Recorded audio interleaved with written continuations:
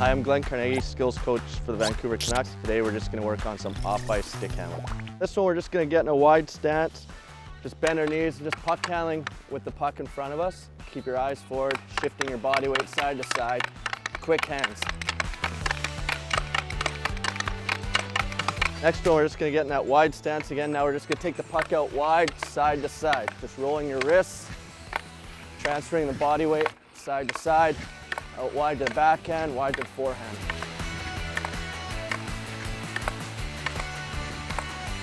Next one we're gonna do, we're gonna do that same thing. We're gonna add the lateral leaps. So we're just, again, loading each leg, stick handling wide each time.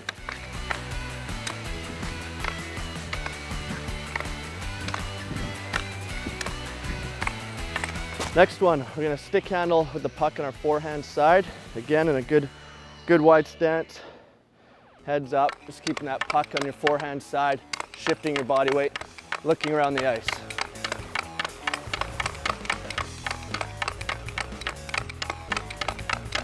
Now we're gonna do that same thing. We're gonna add just some forward fakes. So it's like a, we're gonna bring our hands away from our body, faking that we're passing or shooting.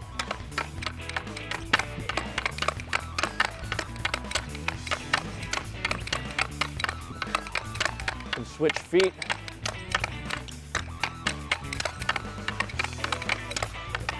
This one we're gonna keep the puck on our backhand side, so we're protecting the puck. We have, thinking you have a player on your opposite hip, heads forward, torso's rotated, and you're stick handling on your backhand side.